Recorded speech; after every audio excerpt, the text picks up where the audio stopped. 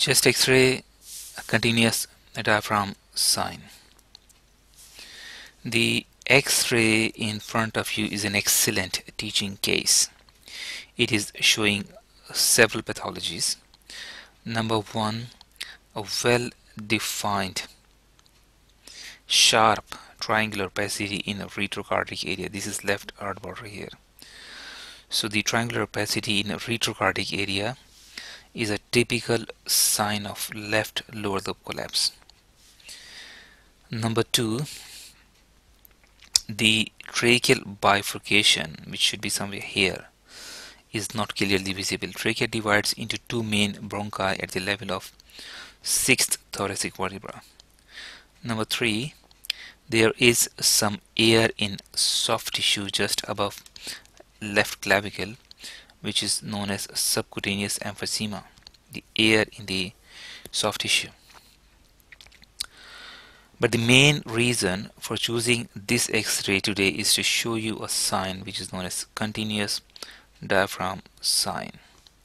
There is a very fine air density making a fine line just above the diaphragm and below the heart.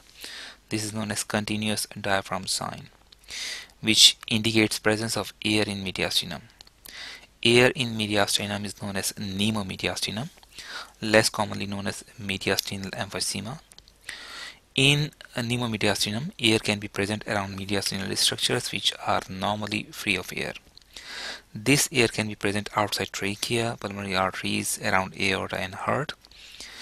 The poor demarcation of tracheal bifurcation and carina in this example is due to the presence of air in surrounding areas. Asthma is the most common cause of pneumomediastinum. Air can leak from a ruptured small airway and can travel through the hilum into the mediastinum.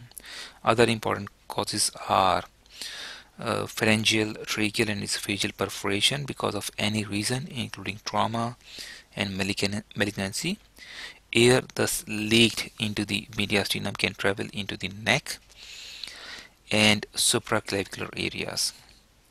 Continuous diaphragm sign should not be con confused with pneumoperitoneum, which is presence of free air outside thoracic cavity into the abdomen.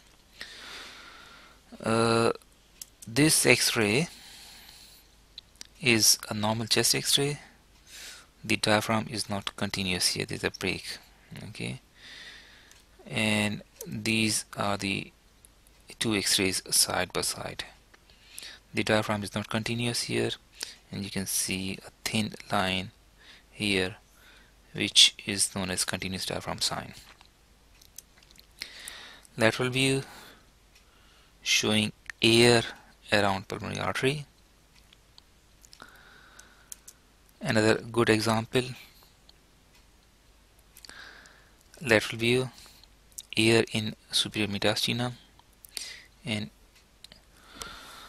air behind the heart. Normally left hemidiaphragm does not continue anteriorly. In this example there is a sharp and clear interface because of presence of air the video is prepared for academyofprofessionals.com these are the acknowledgement and references. Thank you very much